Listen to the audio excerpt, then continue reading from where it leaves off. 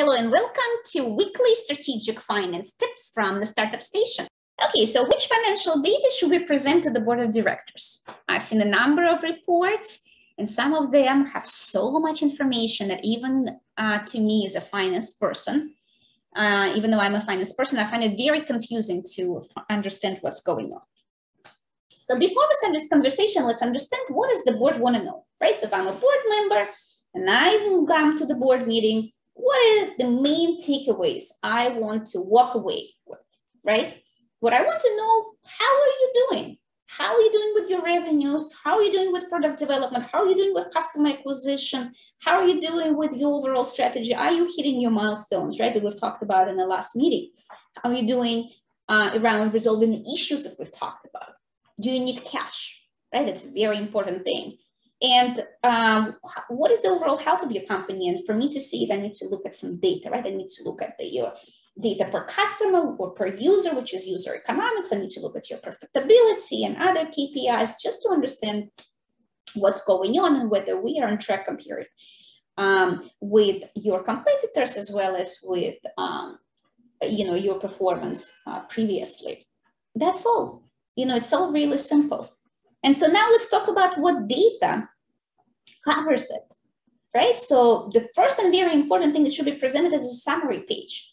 And it should just be key financial results, not all, just key, with a narrative highlighting how the financial results reflect the company strategy, right? Are you substantiating whatever you want to do strategically with actual results? That is all. Now, what data do you present to support it? You have a dashboard with selected KPIs, right? That again uh, support the statement that we are, you know, getting the customers that we need, that we're launching the product as expected, whatever it is. And if there are any issues that you've been working on, then you provide some data on that. So that can be a few slides, right? But the point of this financial presentation is to tell a story a story of how the financial results substantiate your business strategy. Okay, so what can go here? It can be some user stats, some unit economics, growth rates, profitability metrics, revenue contribution analysis, liquidity needs. You know, some of them will be present for all companies, some of them will be specific, right? So I can't really say what it will be for you completely without understanding your company needs. And this is something that uh, we at the Startup Station specialize in is to make sure that you present your reports to investors in a way that puts you in the best light and also serves as a great way to get everybody on the same page. Other things you can present would be financial analysis of any new strategic initiatives, financial update on any outstanding issues or liquidity needs, and you may include an appendix with financial statements and other relevant data.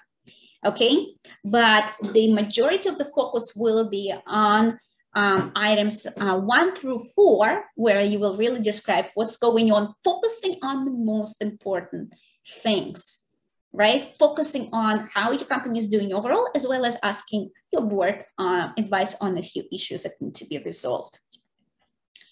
And um, the best way to present the data is through the visuals, right? You want to tell a story. You don't want to include too much. It's overwhelming and then the main points get missed.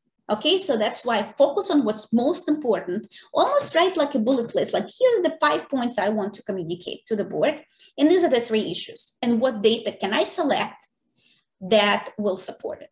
So um, usually your CFO will be able to tell you. If not, um, maybe your accountant. Generally speaking, this is a finance person that can give you this information. And again, we are the Station here, happy to provide you with this advice.